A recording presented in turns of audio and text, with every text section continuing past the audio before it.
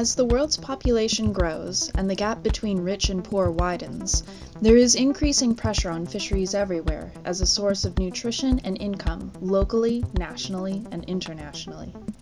If we want these resources to hold up under such pressure, our need for more fish must be managed responsibly.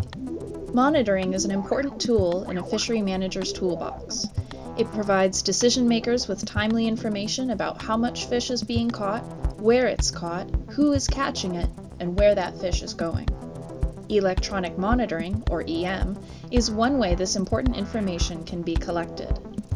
EM boxes are specialized computers that go on board fishing vessels. Different sensors track different information about the fishery. This could include locations by GPS, fishing activities by video, or even oceanographic data for academic researchers back on shore. Our mission driven approach to solution design is an alternative to existing monitoring providers. And because our EM technology was developed with help from fishermen, it reflects what is truly needed out on the sea. It's flexible, so it can be customized for different types and sizes of fisheries. It meets or exceeds data requirements, so it benefits fishery managers. It's easy to use, so any fisherman can participate. And it's affordable, so it doesn't sink that season's income. So far, our systems are being used in British Columbia and the eastern US, but this is only the beginning.